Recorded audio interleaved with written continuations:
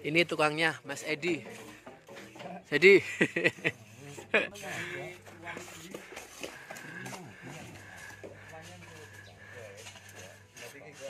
Ini tukang muda yang ada di desaku ini teman-teman.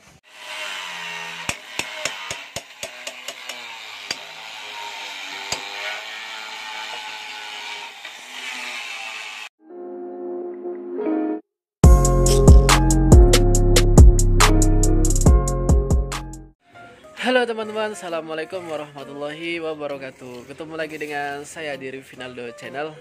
Oke teman-teman, jadi saya lama sekali, hampir dua minggu nggak upload video ya teman-teman Karena ada kesibukan di rumah.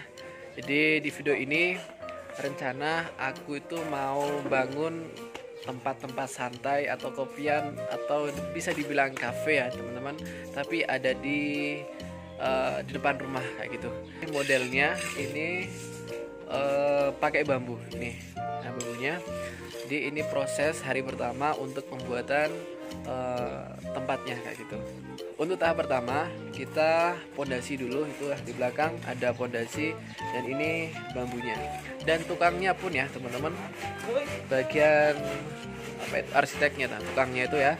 Itu juga nggak sembarangan ya kalau bambu itu karena budgetnya pun berbeda teman-teman. Kita langsung saja lihat bagaimana prosesnya. Ini bambunya ya teman-teman. Ini banyak sekali. Kemarin aku sama bapak dan tetanggaku itu ngambil secara langsung di gumuk. Pak gumuk itu bukit ya bambunya. Dan saya baru tahu bagaimana proses pengambilan ini. Ternyata susah banget teman-teman. Mending beli jadi. Nah ini pondasinya sudah dapat segini. Baru hari ini ini baru mulai pertama dan ini hanya berukuran 2 meter ininya. Tapi kalau full ke sana itu 3 meter plus terasnya itu ya. Karena ini kita buat mini kedai dari bambu kayak gitu. Dan di sana ada pengrajin bambunya. Ini berbeda ya teman-teman. Ternyata aku tanyain kepada tukangnya itu nggak semuanya tukang itu bisa pengrajin bambu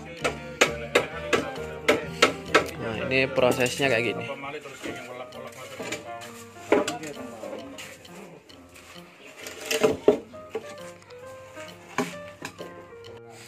Ini tukangnya Mas Edi. Jadi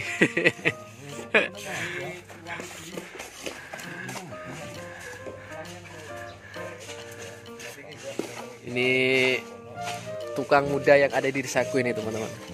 Barangkali yang mau bangun rumah bisa hubungi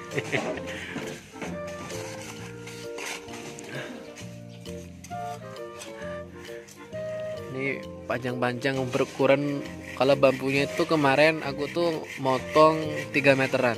Ya 3 meter jadi di sini tuh tinggal uh, apa motong-motong kayak gitu ya teman-teman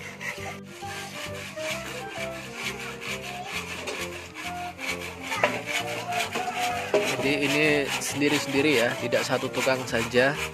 Karena kita target cepat. Mudah-mudahan dalam satu hari itu bisa berdiri kayak gitu.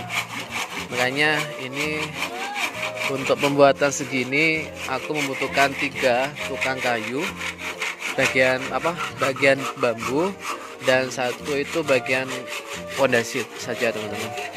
Nanti pondasinya dibuat sederhana saja karena kita aku tuh pengen model klasikan model desa kayak gitu. Oh di sana ada sahabat Umar.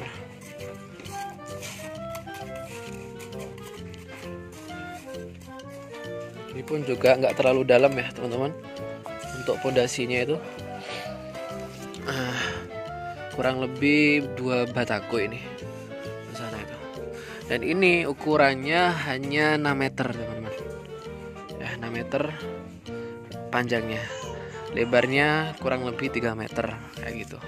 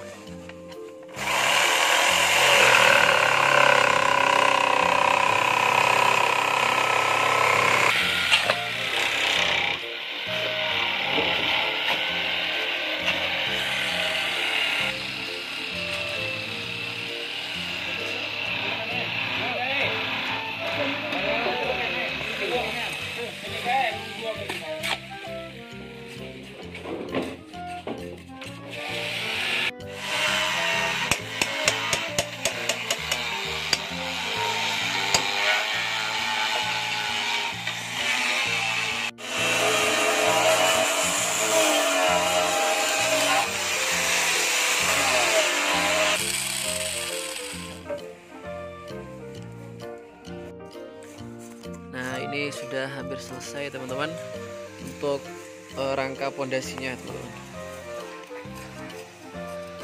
lumayan cukup cepat ini.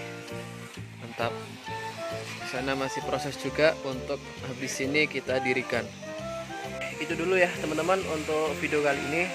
Ini nanti daripada kepanjangan aku bagi part 1 ini ya. Part 1 ini proses untuk pondasi ya. Proses untuk rangka-rangka dulu. Habis ini kalau sudah selesai nanti kita langsung dirikan e, babunya yang tadi sudah kita rancang. Oke simak terus videonya. Semoga sedikit memberikan e, manfaat. Manfaat untuk buat kalian yang pengen buka usaha juga. Ini e, bisa terjangkau sekali ya teman-teman. Karena kita hanya menggunakan bambu kayak gitu. Oke sampai jumpa. Bye bye